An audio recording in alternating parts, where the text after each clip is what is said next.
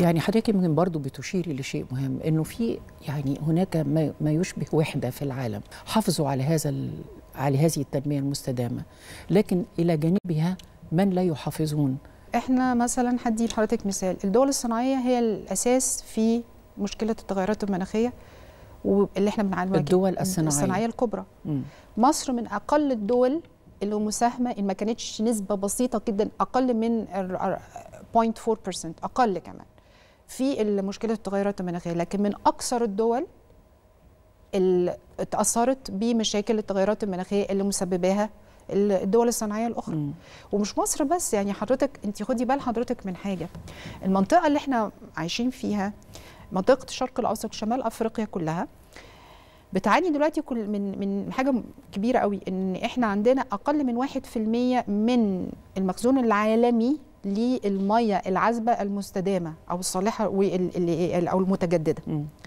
طب ما ده حضرتك برضو ما أنت كل ما التغيرات المناخية بتزيد هتزيد نسبة الجفاف وقلة الموارد وقل وقلة المياه اللي صالحه للشرب. إحنا عندنا ال- ال- ال- ال- ال- المصري دلوقتي أو ال- يعني يعني بيعاني من آه، احتياجاته من الميه أقل من من الحد الحد العالمي أقل من 560 متر مكعب للعام. وده بي- بيؤدي إلى مشكلة الأمن الغذائي وده أمن قومي. فأنت حضرتك هي منظومة متكاملة وبتشترك فيها كل يعني. العديد من الدول طبعا وخاصة يعني الدول الصناعية المتجاورة كمان أو الدول أيضاً. التي تمت. النمو لأنها مب- مب- مبني الموضوع بتاعها للأسف حتى الآن على الاقتصاد البني وليس الاقتصاد الأخضر أو الأزرق ويمكن بقى ده. سؤالي يعني فعلا يعني ما الاقتصاد ال- الأخضر ما الاقتصاد البني اللي حضرتك بتقولي عليه ما الاقتصاد الأزرق اللي بيتكلموا عنه حضرتك الاقتصاد البني اللي هو مبني على فكر التنمية وبعد كده بقى نفكر في المشاكل البيئية اللي حصلت بسبب التنمية دي. يعني ننمي اولا. ننمي اولا. دون ال- النظر للمشاكل البيئية اللي من... طيب أما الاقتصاد الأخضر هو العكس. إن أنت تعملي اقتصاد قليل الانبعاثات الكربونية مبني على الفكر ده أصلا. مم. زي ما قلت لحضرتك الاستهلاك الرشيد لكل الموارد الطبيعية المتاحة. مع تنمية الموارد الطبيعية اللي موجودة at the same time.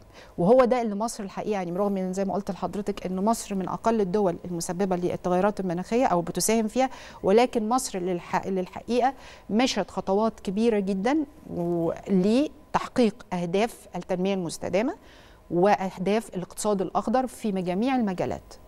يعني حضرتك إحنا عندنا اللي عملنا الاستراتيجية الوطنية لمواجهة التغيرات المناخية 2050 مم. ودي مبنية على ست محاور أساسية لتطبيقات الاقتصاد الأخضر.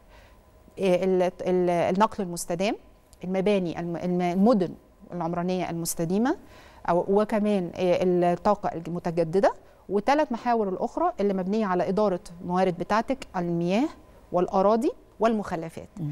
وهنا جينا فكرة الاقتصاد كمان الدوار اللي حضرتك كنت بتسأليني عن الاقتصاد الاقتصاد الدوار ده أحد ركائز الاقتصاد العالمي وده دلوقتي مهم جدا أو بيسموه الاقتصاد الدائري اللي هو مبني على إعادة تدوير المخلفات اللي بتطلع من أي عملية صناعيه صناعية عشان تعظيم الاستفادة من كل المخلفات اللي بتطلع منها توص- توصلي لبروسيس أو عملية zero waste أو خاليه من أي نفايات. أيوه.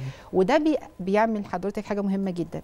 اولا مش هيبقى عندك waste management problem اللي هي ال- ال- اللي بيسموها بالعربي ال- إدارة المخلفات. مم. خلاص لأنك أنت دخلتيها في صناعة أخرى وقللتي من ال overall cost أو. التكلفة بتاعة ال process نفسها مم. فدي مهمة جدا حضرتك مصر يعني المسائل كلها الحقيقة واضح ببعضها. إنها متشابكة تماما متشابكه يعني. ببعضها مم. دي من ضمن الحاجات الأساسية اللي خلتني أمشي في الاتجاه ده اللي أنا إزاي أنزل للشباب الصغير إزاي أنزل للفلاح البسيط مم.